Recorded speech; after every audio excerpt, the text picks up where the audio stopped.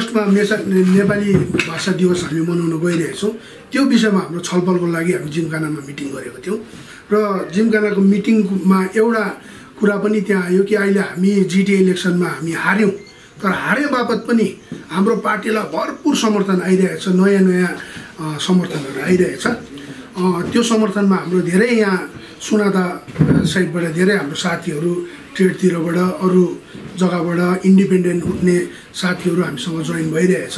त्यो मध्येमा एकजना हाम्रो दार्जिलिङमा प्रचलित राजनीतिज्ञ नाम चलिरहेको भाइ है हामी किनभने एउटा युवालाई प्रोत्साहन दिने पार्टी भएकोले गर्दा युवाहरू आउँदा उहाँहरूलाई हामीले खुल्ला हृदयले हाम्रो सेन्ट्रल कमिटी हाम्रो पार्टीको सेन्ट्रल कमिटीले खुल्ला हृदयले हामीले युवाहरूलाई प्रोत्साहन दिँदैछौँ। त्यसको ज्वलन्त उदाहरण तपाईँहरूले म्युनिसिपालिटी मा देख्नुहुन्छ। हाम्रो एकदमै यङ्गेस्ट भाइ एकतिस वर्षको भाइलाई हामीले म्युनिसिपालिटी चेयरम्यान बनाएका छौँ। त्यसरी नै हामी हाम्रो पार्टीमा हामीले युथहरूलाई जग्गा दिन्छौँ अनि हाम्रो लिडर आफै युथ हुनुहुन्छ। उहाँको दार्जिलिङप्रति माया म युथले सोच्ने तरिकाले नै उहाँले सोच्नुहुन्छ र युथलाई नै उहाँको साथ जुट्यो भने अवश्य भोलिको दिनमा दार्जिलिङ राम्रो हुन्छ भन्ने हामीले ठानेको छौँ र त्यसले गर्दा हामीले युथलाई दिन्छौँ। अहिले मैले भन्दा भन्दा हाम्रो यो युथ लिडर हाम्रो प्रचलित भाइ श्रीमान विक्रम आदि राई भाइ हामीसँग जोडिनु भएको छ। अनि त्यो मिटिङमा हामीले एउटा रेजोल्युसन एडप्ट गऱ्यौँ कि हामीले विक्रम आदि राई भाइलाई तुरन्तै जोड्ने साथ हामीले एउटा पोर्टफोलियो दिउँ भनेर उहाँलाई जग्गा दिउँ भनेर किनभने यो युथलाई जग्गा दिने पार्टी भएकोले गर्दा उहाँलाई हामीले आज जग्गा दिँदैछौँ। हामीले विक्रम आदि भाइको हामी यो फ यो हाम्रो पार्टी बनेकोदेखि हाम्रो सबै चिठी रेडी छ हाम्रो पोर्टफोलियोहरूको तर भाइ लक्की हुनुहुँदो रहेछ। उहाँलाई हामीले पहिलोचोटि हामीले यो चिठी दिँदैछौँ। म यो अलिकति चिठी तपाईँहरूलाई पढ्न चाहन्छु। केन्द्रीय समिति बैठक सङ्कल्प पत्र यो सङ्कल्प हो हाम्रो।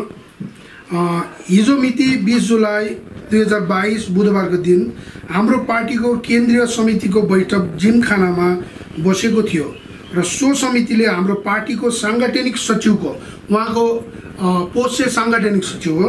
साङ्गठनिक सचिवको सचिवमा श्री विक्रम आदि राईलाई लोकतान्त्रिक रूपमा निर्वाचित गरियो। सो सबैजना ताली बजाएर.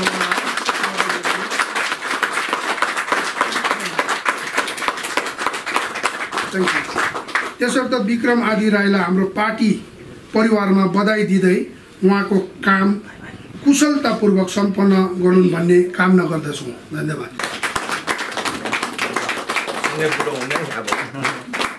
अब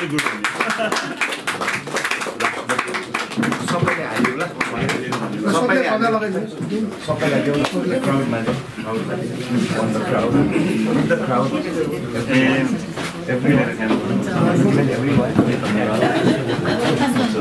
सबैजनाले लगाइदिनु तपाईँलाई दार्जिलिङलाई लगाई हाम्रो पार्टीमा आउनुभएको तपाईँपछि पुरा भयो.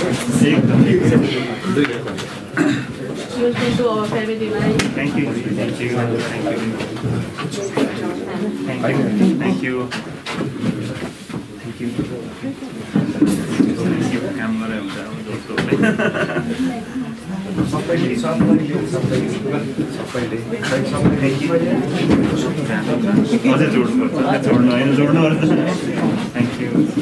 आज पिकोटी हाम्रो पार्टी केन्द्रीय समिति कार्यालयमा पार्टी अध्यक्ष श्रीमान अजय एडवर्डज्यूको पक्षबाट मलाई एउटा सिरोबार सुम्पिनु भएको छ।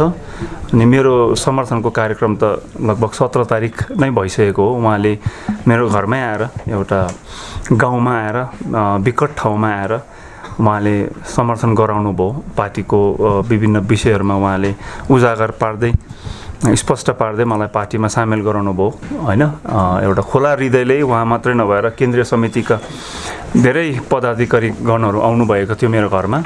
अनि त्यसताक उहाँले पी कोठीमा म तपाईँलाई स्वागत गर्छु।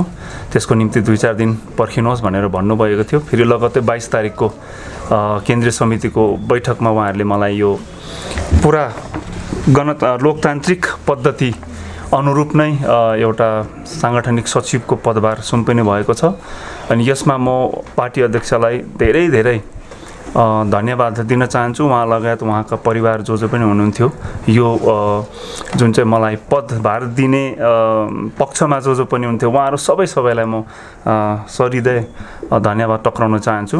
अनि यति मात्रै नभएर अब मैले पनि आफ्नो राजनीतिक जीवन सुरु गरेदेखि एउटा काम गरे गरेकै हो काम गर्ने निरन्तरता थियो काम गर्ने हिम्मत सोच थियो नै। तर यसको साथसाथमै के हुँदो रहेछ भने एउटा बलियो एउटा सफा सङ्गठनको पनि आफूलाई खाँचो पर्दो रहेछ। अनि पुरानो सङ्गठनमा पनि बसेर हामीले काम गऱ्यौँ त्यसको पनि राम्रो अनुभव पनि छ नराम्रो अनुभव पनि छ होइन? अनि पुरानो सङ्गठनलाई पनि अँगालो हाल्यौँ त्यसमा पनि जति गर्नु सक्थ्यौँ। हामीले त्यति नै हदसम्म गएर गऱ्यौँ अनि त्यसको पश्चात नयाँ सङ्गठनमा पनि अनुभव त छँदैछ। नयाँ सङ्गठनमा साह्रो तितो अनुभव छ। अनि त्यसको बादमा मलाई मेरो योग्यता मेरो क्षमता अनुरूप काम गर्नुको निम्ति एउटा राम्रो सङ्गठनको प्लेटफर्मको मलाई खाँचो थियो। जुन प्लेटफर्म हाम्रो पार्टी अध्यक्षज्यू अनि लगायत केन्द्रीय समिति सदस्यहरूले मलाई दिनुभयो त्यसको निम्ति म कृतज्ञता प्रकट गर्न चाहन्छु। अनि आउने दिनहरूमा म विश्वस्त छु। हाम्रो पार्टी पहाड तराई डुवर्सको जनताले अनि भारतभरि छरिएर बसेको गोर्खाहरूले खोजेको विकल्प हो जस्तो लाग्छ। अनि यो विकल्प यो साँच्ची नै एउटा विकल्प हो हाम्रो निम्ति हाम्रो मुद्दाको निम्ति भनेर साबित गर्ने काम चाहिँ अब कहीँ हदसम्म मेरो पनि हो अनि म साङ्गठनिक सचिवको पदभारको जिम्मेवारी लिँदै आउने दिनहरूमा हाम्रो पार्टी अध्यक्षले एउटा सुदृढ सङ्गठन उहाँको हातमा म दिनेछु भन्ने म यहाँबाट आश्वस्त गराउन चाहन्छु। प्रकारले अ, तपाईँले भन्नुभयो है ज्यू कि विगतको पार्टीहरूमा तितो मिठो दुवै अनुभव छ भन्नुभयो। अर्को कुरा त के पनि हो यो भन्दाखेरि तपाईँलाई तितो पनि लाग्न तितो लाग्नै सक्छ र के हो भने जुन जुन पार्टीहरूसँग तपाईँ संलग्न हुनुहुन्थ्यो त्यो सबै टुक्रिँदै तोडिँदै हराउँदै बिलाउँदै गयो। हजुर अब यहाँ तपाईँ हाम्रो पार्टीमा आइपुग्नु भएको के सोच विचार खासै चाहिँ हुन्छ नि। हजुर। फेरि त्यस्तो हुने हुँदैन। होइन पछिल्लो कुराहरू म पहिले जान्छु तपाईँहरूले टुक्रिँदै तोडिँदै भन्यो। गोर्खा लिग पहिल्यै टुक्रा भएको पार्टी थियो। त्यसमा गयौँ। हामी निक्लिँदा चाहिँ एक भएको गोर्खा लिग। यो यो स्पष्ट छ यसमा धेरै घुमाइ फिराइ बात गरिरहनु पर्ने कुरै छैन। अनि नयाँ प्लेटफर्ममा काम गरौँ। गोर्खा लिगको हामीले त्यति बेला पनि भन्थ्यौँ एउटा सर्टेन लिमिटेसन्स छ गोर्खा लिगको होइन? गोर्खा लिगको पछिल्लो कामहरू छ अघिल्लो कामहरू छ। अनि त्यसमा हामीले त्यस्तो प्लेटफर्ममा गएर जहाँनिर हरेक चिजहरूको समस्या थियो साङ्गठनिक समस्या थियो आर्थिक समस्या थियो रणनीतिक समस्याहरू थियो। त्यो समस्याहरू झेल्दै झेल्दै हामीले एक हदसम्म काम गऱ्यौँ। अनि त्यो एक हदसम्म काम गर्दाखेरि त्यो काम गरेको जुन चाहिँ फल थियो त्यो फललाई अझै क्यापिटलाइज गरेर गठबन्धनका साथीहरूले खासै वार्ताबाट केही ल्याउन सकेनन्। अनि त्यो लिमिटेसन्सहरूलाई बुझेर त्यो क्षमता त्यो एउटा लिमिटेसन्सलाई बुझेर गोर्खा लिगबाट हामीले सौहार्दपूर्ण तरिकाले नै हामीले अ, बिदाय लियौँ। कसैसँग झगडा गरेर होइन। सौहार्दपूर्ण पूर्ण तरिकाले बिदाय लिइसकेपछि एउटा नयाँ प्लेटफर्मको खाँचो पर्छ भन्ने सोच थियो अनि त्यो नयाँ प्लेटफर्म बनाइसकेपछि त्यो प्लेटफर्म के भयो भन्ने विषयमा पत्रकारहरूलाई जानकारी भएकै कुरो। अनि त्यसमा म इन्डिभिजुअल्ली फिलहाल त म दोसाउँदिनँ तर म जो हाम्रो पार्टीको प्लेटफर्ममा आएको छु। हाम्रो पार्टीमाथि कुनै प्रकारको लान्छना लाग्छ हाम्रो पार्टी अध्यक्षमाथि अनि उहाँको छविमाथि कसैले पनि एउटा नकारात्मक टिप्पणी गर्छ तथ्यहीन टिप्पणी गर्छ भने अब त्यो डिफेन्ड गर्नको निम्ति अनि हाम्रो पार्टीको छवि बचाउनको निम्ति चाहिँ म अगाडि आएको हुनेछु।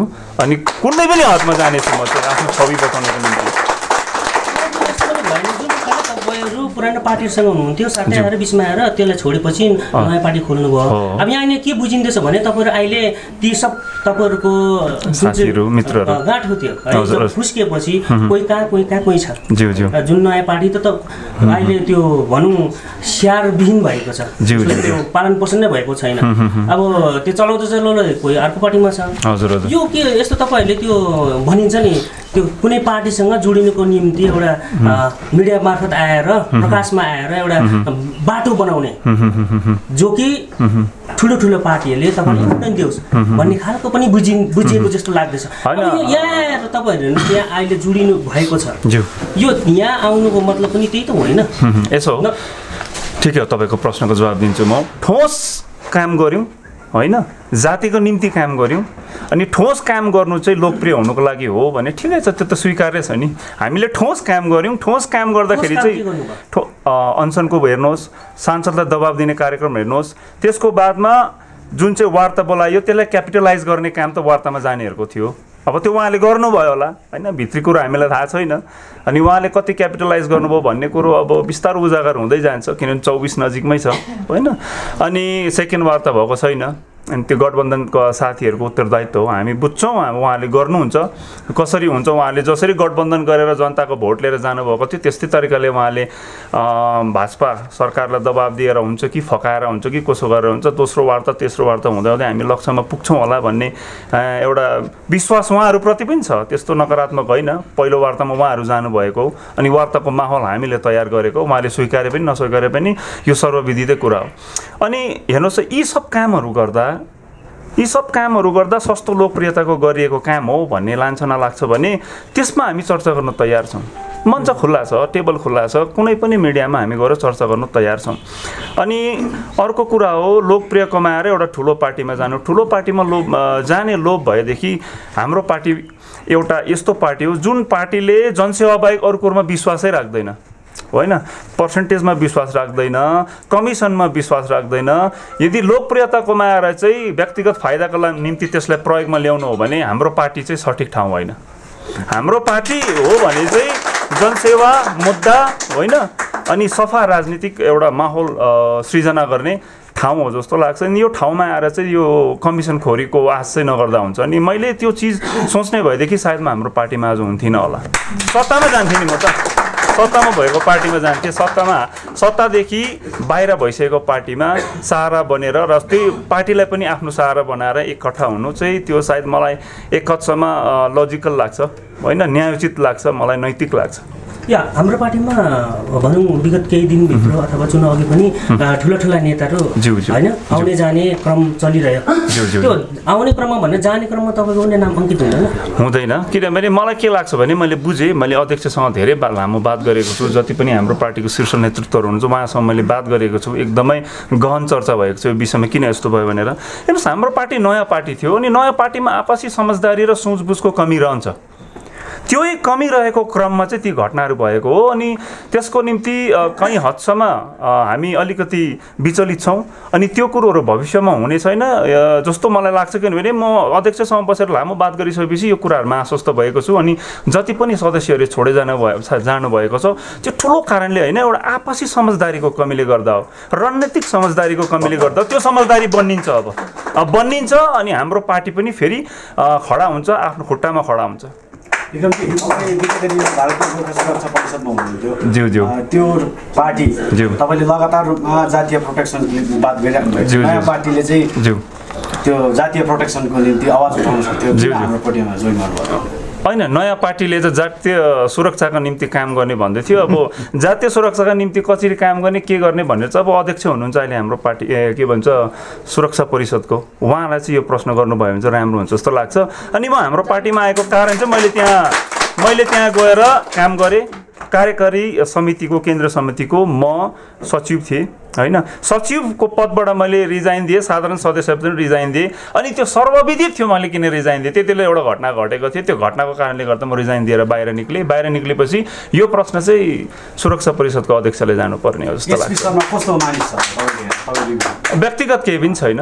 नीतिगत मतभेद भनेर मैले त्यति बेला मिडियातिर भनिसकेको छु। नीतिगत मतभेद हो आपसी मतभेद हो नीतिगत मतभेद। अनि नीतिगत मतभेदलाई मैले सार्वजनिक गर्नु चासो राखिनँ। त्यो पार्टीको आन्तरिक मामिला हो बिजिएसपी पार्टीबाट है चुनावभन्दा अघि नै तपाईँले। इस्तिफा दिइसक्नु भएको ज्यू। थियो र यो जिटिए चुनाव पछि मात्रै आएर तपाईँले यो हाम्रो पार्टीमा अहिले। जोइन गर्दै किन चाहिँ यो जिटिए चुनाव पछि मात्र तपाईँले यो हाम्रो पार्टीमा समर्थन गर्दै हुनुहुन्छ? त्योभन्दा अगाडि किन जोइन समर्थन गर्नु? होइन व्यक्तिगत त हाम्रो सम्बन्ध पहिलादेखि नै थियो। त्यस्तो केही पनि होइन। व्यक्तिगत सम्बन्ध पार्टी अध्यक्ष अझै एडवर्ड ज्यूसँग मेरो पहिलादेखिको ब सबैभन्दा हाम्रो सम्बन्ध सुरु भएको चाहिँ हो जब हामी एउटा अप्ठ्यारो परिस्थितिमा थियौँ हामी अनसन बस्नेवाला थियौँ। एसपी शर्माजी अनसनमा हुनुहुन्थ्यो त्यति बेला। सुरु गर्ने दिन।